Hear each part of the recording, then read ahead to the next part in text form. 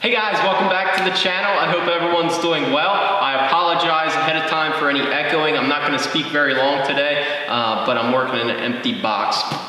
Speaking of boxes, I have this, uh, this pretty sweet Snap-on toolbox behind me. Unfortunately, it's not ours. Uh, the wife would probably kill me if I came home with something like like this. Uh, my little box is back there behind me. It's still Snap-on and I love it to death. Uh, but someday, someday I'll have a big box like this, color matched to the whole shop, and uh, it's gonna be nice. But anyway, customer just dropped this off for a ceramic coating. Uh, we're gonna apply a full ceramic coating to the whole thing. You're probably wondering, why would someone waste their money on a ceramic coating uh, toolbox? Well, really, it's not that expensive when you think about it. This one doesn't have any scratches. It's brand new off the truck. Basically, all we gotta do is wipe down any grease, fingerprints, which is pretty common.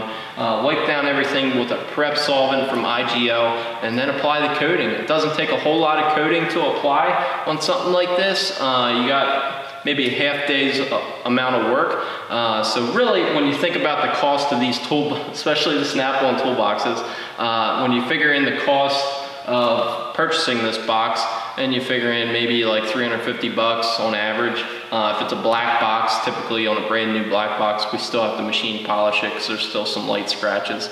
Um, and it'll make it easier for the customer to clean up. If you spill something on it, splashes some oil on it, drink dumps of soda on it. It will help a little bit with fine scratches, but by no means are these ceramic coatings scratch proof. Uh, that's one of the things that on the internet people say they're, they're scratch proof. They're not scratch proof at all. They're a little scratch resistant, uh, and we are using the IGL Kenzo, which is a very hard coating.